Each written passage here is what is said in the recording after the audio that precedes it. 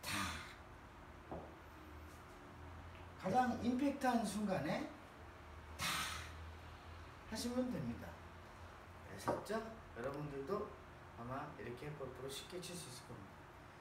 제가 맨 처음에 베이식키 쳤을 때는 공을 안 보고 이렇게 쳤습니다. 그러나 지금은 공을 끝까지 보고 저는 원래 스윙을 완전 스윙을 안 하기 때문에 반 스윙만 합니다. 여기서 가면서 임팩트 다시 한번 보여드리겠습니다.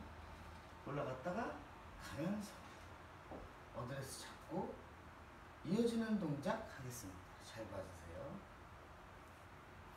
오. 한 번 더 보여드리겠습니다. 하나, 둘, 셋 이렇게 가는데 입니다.